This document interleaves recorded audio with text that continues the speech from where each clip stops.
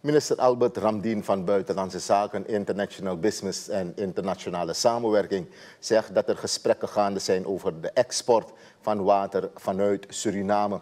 Hij wil nog niet veel daarover kwijt om niet al te hoge verwachtingen te scheppen. Ramdien sprak journalisten vandaag voor de aanvang van de wekelijkse Raad van Ministers. We zijn nog heel in een eh, beginfase van die gesprekken, waarbij bedrijven zeggen we zijn in staat um, water zodanig te exploiteren dat het tegemoet komt aan de noden die zij hebben internationaal, maar tegelijkertijd ook voor Suriname een uh, opbrengst is. U, u weet, water is een hernieuwbare bron. Het gaat niet op, het blijft regenen, de rivieren worden gevuld en het water stroomt eigenlijk naar de zee en niemand doet er wat mee. Dus wij gaan proberen daarop te werken ook, om een goed waterindustrie op te zetten richting landen die dat nodig hebben.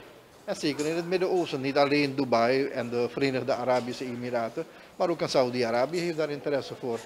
Uh, maar we moeten dat goed doen, want het is een nieuw ding voor ons, maar het is ook een nieuw ding in de wereld. Het uh, exploiteren van je water en daarvoor dus een prijs vragen.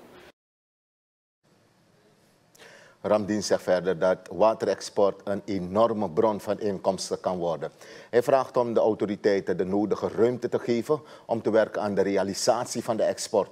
Suriname moet met alle aspecten rekening houden om, dat, om uh, dit project tot een succes te maken.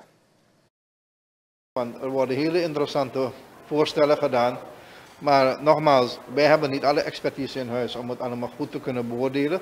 We gaan dus dat goed laten bestuderen. Het, zijn nieuwe, uh, het is een nieuwe aanpak waarbij men dus het koppelt aan het milieu. De bescherming van het milieu.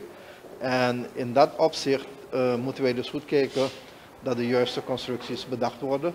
En uh, dat wij dus niet uh, ja, um, er nadelen van afkomen.